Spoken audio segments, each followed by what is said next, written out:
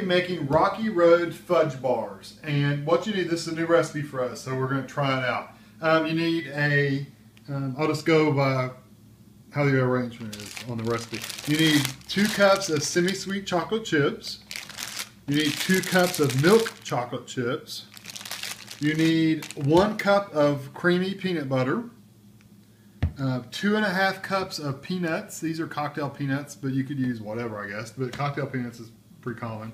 So two and a half cups of those and two and a half cups of the mini marshmallows, the small marshmallows. So I'm going to measure out my peanut butter, go ahead and get my two cups of chocolate chips ready, and then I'll be back. Thing, I got my stuff ready. Uh, one thing I wanted to mention, you need a 13 by 9 pan. Uh, the recipe actually calls for aluminum foil that's greased. Uh, we don't use aluminum foil a lot, we use the parchment paper, so I've got my parchment paper in there um, pushed into the corners, kind of tucked in, so that'll work really good. It doesn't stick, and I can still lift it right out of the pan if I need to. Um, another thing I wanted to mention is the location where, where, we got the recipe. We'll put a link down underneath the video, but it's from uh, Brooke's Bakes at blogspot.com. That was the website we got them from. Um, another discovery, I was going to measure these out, but Hershey's, I really like, and Ashley said this before too, I really like how they actually put on the bag how many cups um, it's approximately two cups of chocolate chips. Um, that's nice because what we needed was two cups. So I'm going to pour this in there. That's uh, 11 and a half ounces is basically two cups. So I'm just going to put that in my bowl. And this, the Nestle does not say how many cups it is, but it does say it's about, it's 12 ounces. So I would think that 11 and a half, 12 ounces is about the same thing. So I would, I'm going to guess it's probably around two cups. So I'm to put both of those in my bowl, or my pan, and I do not have a double boiler or anything like that, so I'm just going to cook them uh, really slow, take my time at it, and I'll probably put it on two or three, and just slowly bring this up to where they're going to melt. So once they get melted, then I'll be ready to add other stuff to them. So that's what I'm to work on right now. All right, the chocolate's melted. And the next step is to take your peanut butter, and it's one cup of creamy peanut butter, and I'm going to put it in there while it's still on the heat.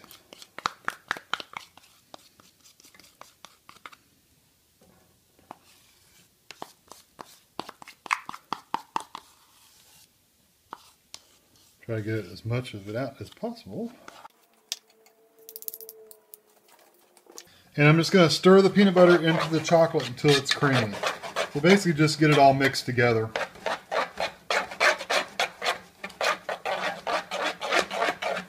You can't beat peanut butter and chocolate.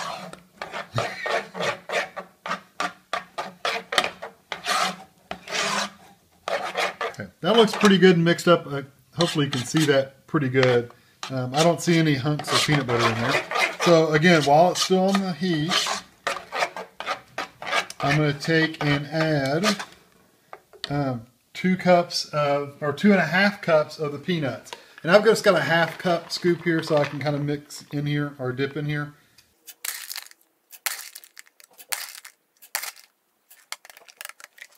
And get these all good and stirred in there. That just looks evil. I mean, it really does.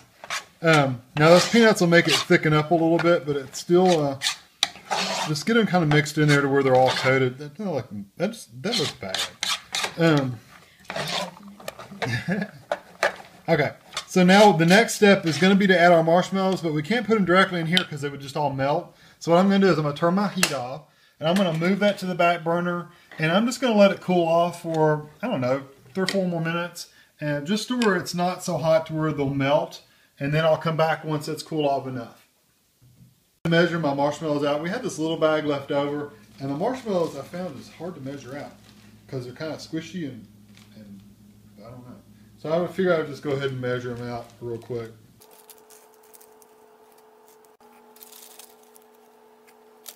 Got my marshmallows. It's, again, it's two and a half cups of marshmallow. And you saw me dump some in there, but that was the rest of them. And now I'm just going to basically just stir this all up in there. Yeah, it wouldn't escape. You didn't want to get eaten and basically cover and coat all your marshmallows with this evil concoction. I basically determined if it was cool enough not to melt some marshmallows, by sticking my finger in it. And if it didn't didn't hurt my finger out here, it was cool enough for a marshmallow. So, okay, so that looks like I've got them pretty much coated. So now I'm just going to take my pan and I'm going to pour them out. Sorry about the noise. I know that's annoying.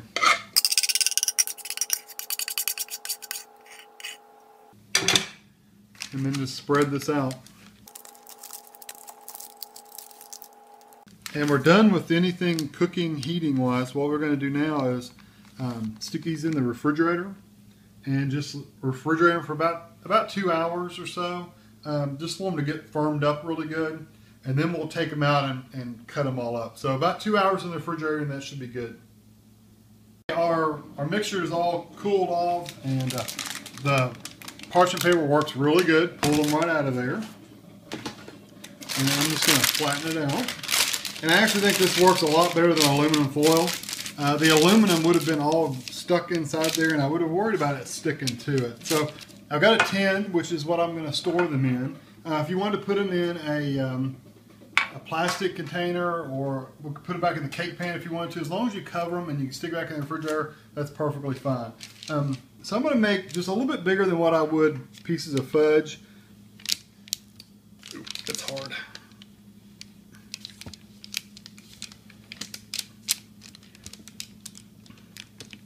like that size and let me go ahead and just cut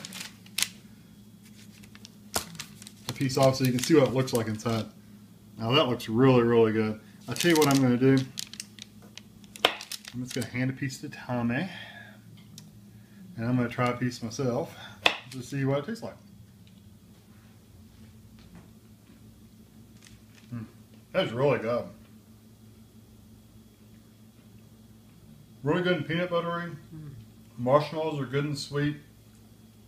Yeah, those are really good. Those are good. For as easy as those are to make, I would definitely make these again. So, so I'm going to continue cutting these up and put them in the tin, and um, and that'll be it. They're done.